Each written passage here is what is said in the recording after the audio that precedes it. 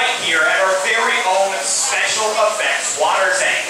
Water tanks like these continue to play a major role in action movies. Here, the explosive, out of control mayhem you see in movies like The Rock, Prince in Time, and Pearl Harbor can be created using large-scale mechanical and physical effects. The action is then filmed as a carefully planned sequence of events. Today, ladies and gentlemen, you are in luck because we are filming our very own sequence called Harbor Attack. Some special effects that big-time directors like Michael Bay use in their films. In fact, if you direct your attention to those overhead monitors, here's Michael now to introduce the scene.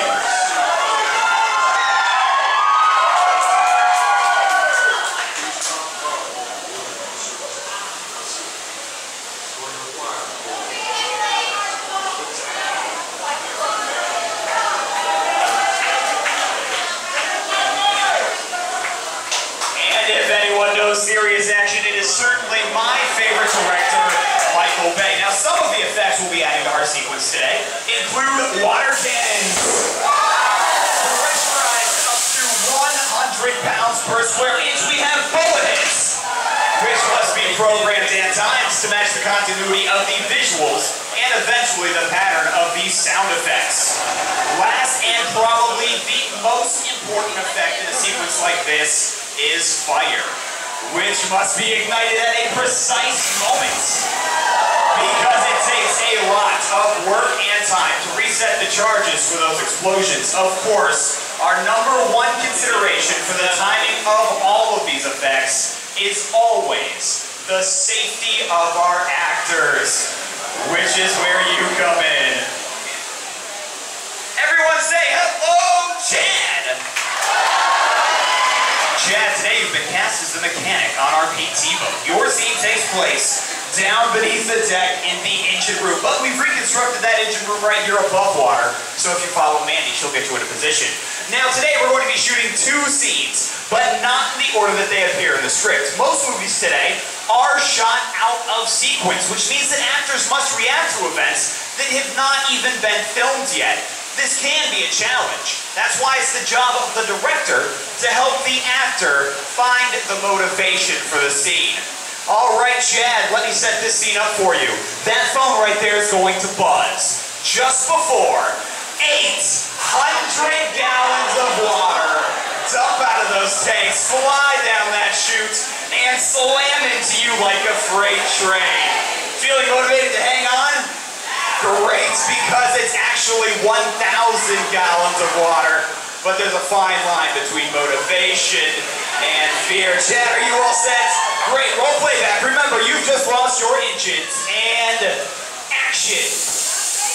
All right, pick up that phone, Chad. Keep talking, Chad. Keep talking.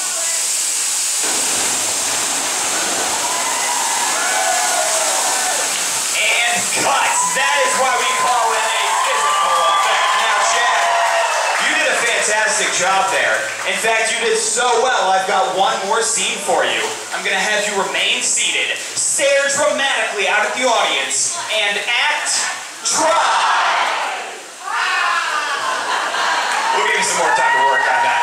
Like I said, we are testing the effects for two scenes today, the f- second of which takes place on the deck of our PT boat. Let's go to Mandy to introduce you to our brave crew. Thank you so much. All right, everyone, please give a nice round of applause for our brave Captain Ron and his crazy and wild deckhands, Jeanette and Sean. Cass is on set and crew standing by Simon. Thank you, Mandy. Roll playback. Remember, crew, you are on a surveillance mission and action. Ron, you're searching the skies looking for enemy fighters. Deck crew, I want to see that ship spotless. Uh, Captain, I think you found that plane. Enemy fighter coming in and Zenith block.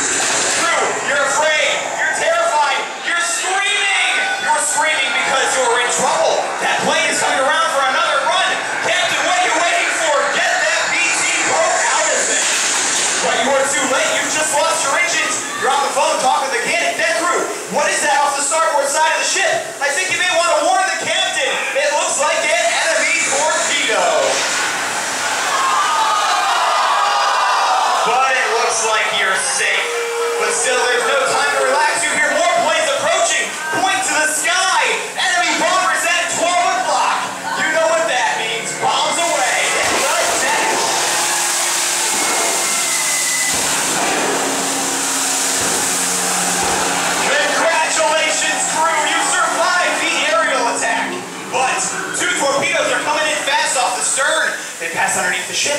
They're heading for the audience. Point to the audience. Warn them. Tell them to look out. Look out. And cut. What'd you think? Our actors did a great job, didn't they? Now we're going to show you what the entire sequence looks and sounds like. Once we add some computer-generated images, a few pre-recorded lines of dialogue, and a rousing musical score.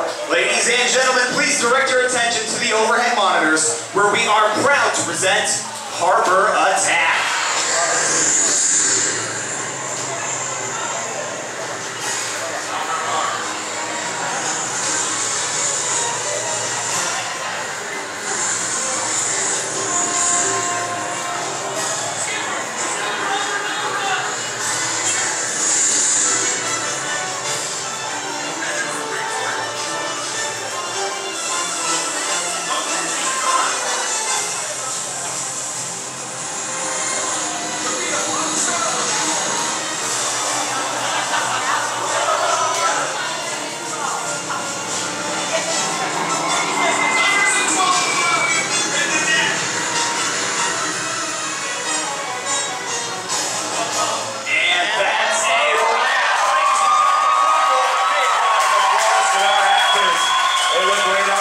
Film, don't they? Now, if you are waiting for one of our brave volunteers, please wait right there. Everyone else, turn to the left. Proceed down the ramps through the Prop Warehouse, where you will find shuttles that will take you behind the scenes here at Disney's Hollywood Studios. Have a great day, ladies and gentlemen. Thank you so much for joining us for the filming of Harbor Attack. Goodbye, have a great night, and I will see you at the movies.